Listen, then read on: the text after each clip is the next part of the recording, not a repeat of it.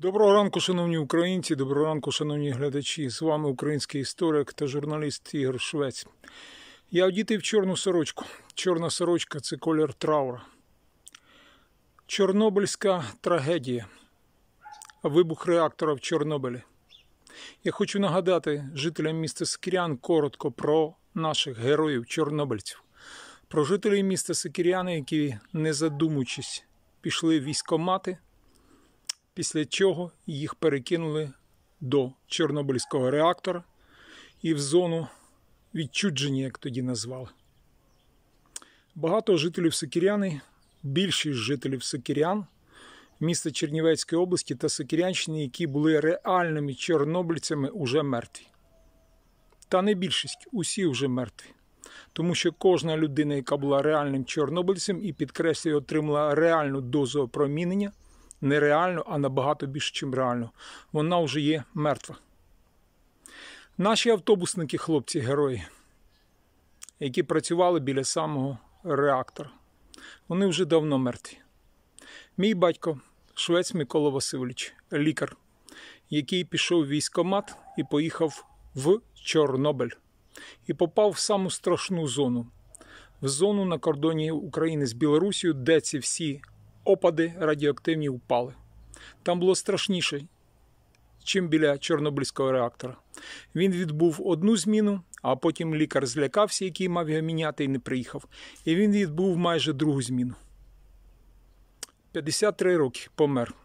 Почав жовтіти, опухати ноги, а потім що? Печінка. Все. Я хочу низько склонити пам'ять перед героями чорнобильцями нашими сокирянцями покійними.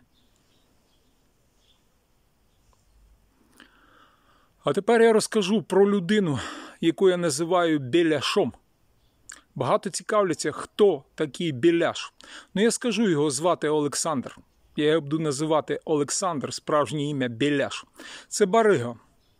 Барига, який має посвідчення Чорнобильця першої категорії, вдумайтесь, і до сих пір живий.